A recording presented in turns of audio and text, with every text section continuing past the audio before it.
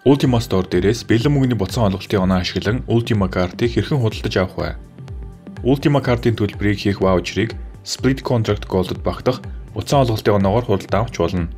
Энэ заавраар бид бэлэн мөнгөний буцаан олголтын оноо ашиглан Ultima Store дээрээс картыг хэрхэн худалдаж авахыг алхам алхмаар харуулах болно.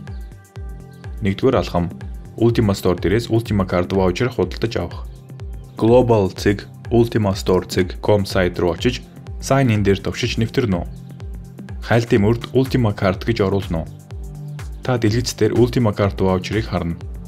Buy now товчлуурыг товшно.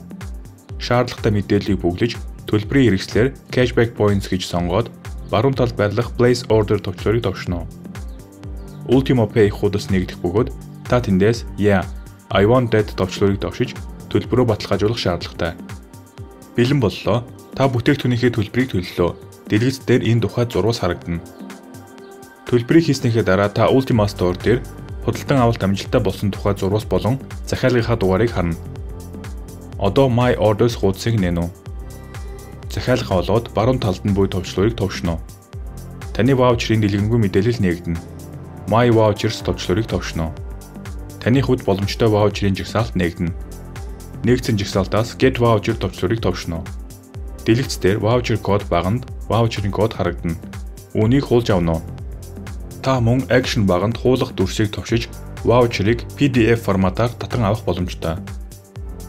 Хоёрдугаар алхам кодыг идэвхжүүлэх. Бүрт хүлж KYC процедурыг дуусгасны дараа Ucrypto Card сайт дээр кодыг идэвхжүүлнэ.